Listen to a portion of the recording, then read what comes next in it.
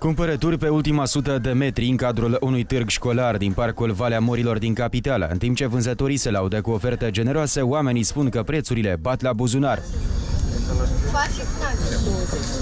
Avem 10 de un fel, 5, 5, 20. Comercianții spun că prețurile la rechizite și haine au rămas neschimbate.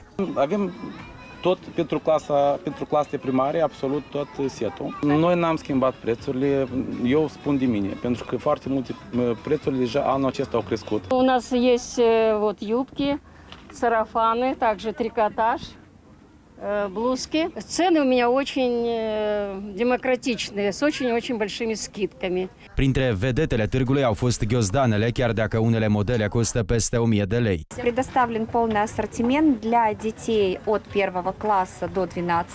Э, Ну вот на примере вот этого, например, есть э, для первого класса, да, есть каркасные, вот такие, это самый э, небольшой легкий вариант, куда все помещается. Părinții spun că prețurile sunt cam pipărate, dar sunt nevoiți să se conformeze cerințelor.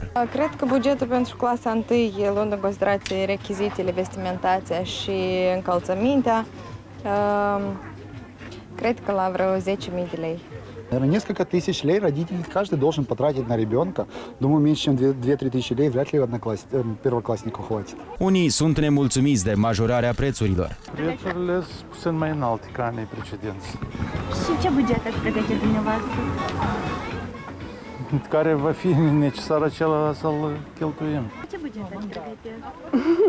În jur de 1000 de lei pentru rechizite. Pentru îmbrăcăminte foarte mult, nici nu spun prețul. În timp ce părinții își scutură buzunarele, picii abia așteaptă să revină la școală. Sunt foarte fericită că merg la școală și, și abia aștept să, să, mă, să văd prietenii și colegii.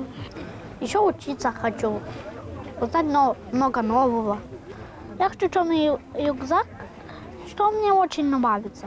Anual, evenimentul se desfășoară la Moldexpo, însă din cauza că acolo a fost creat centrul COVID-19 deja al doilea an, iar Marocul este organizat în aer liber. Târgul va dura până în 5 septembrie și va fi deschis în intervalul orelor 10 și 18.